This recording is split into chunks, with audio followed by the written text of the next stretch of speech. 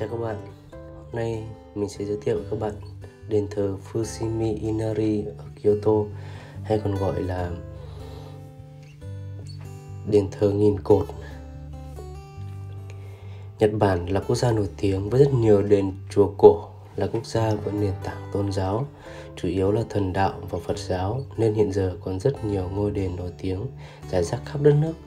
Trong đó Kyoto được xem là nơi có nhiều đền thờ thần đạo nhất. Một trong số những ngôi đền đó là đền thờ Inari, nữ thần lúa gạo có tên gọi là Fushimi Inari. Đây là ngôi đền nổi tiếng nhất có lịch sử lâu đời từ những năm 794 nằm tọa lạc tại cố đô Kyoto. Đây là một ngôi đền nằm ở dưới chân núi Inari thờ phụng vị thần Inari là vị thần của cáo, của đất đai, gạo, trà và rượu sake của nông nghiệp và công nghiệp thần của sự giàu có và thành công.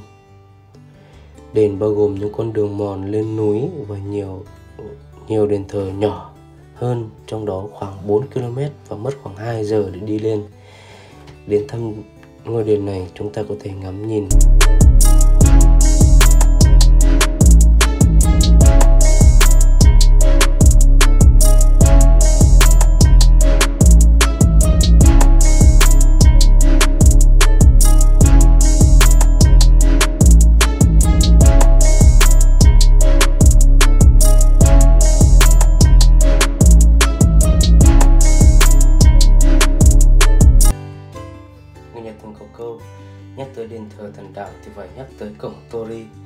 Tới cổng Tori thì phải nhớ ngay đến đền thờ Fushimi Inari Taisa. Hay người Việt mình hay thường gọi là chùa nghìn cột ở cố đô Kyoto. Vậy cổng Tori và chùa nghìn cột có gì liên quan với nhau? Hãy cùng mình tìm hiểu nhé. Cổng Tori là cổng lối vào thường ở lối vào chính điện của đền thờ thần đạo. Theo truyền thuyết, cổng Tori chính là biên giới giữa thực và ảo, hay còn có thể hiểu rằng đó là nơi chuyển giao giữa thần linh và con người. Cổng Tori xuất hiện từ thời Heian, được làm bằng gỗ hoặc đá. Ngày nay một số nơi còn xuất hiện cả cổng Tori bằng bê tông cốt thép. Tuy nhiên số lượng này khá ít.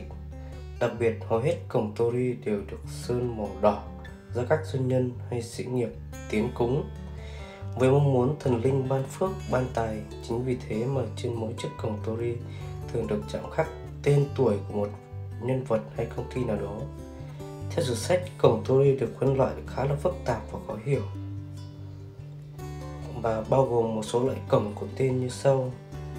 Shinmei Tori, Ise Tori, Kasuga Tori, Michibashira Tori, Shiromaru Tori Ngoài ra thì còn vô vàn các loại cổng Tori khác. Nếu thấy video hay, các bạn nhớ like, chia sẻ và đăng ký kênh của mình để xem nhiều video hơn nhé.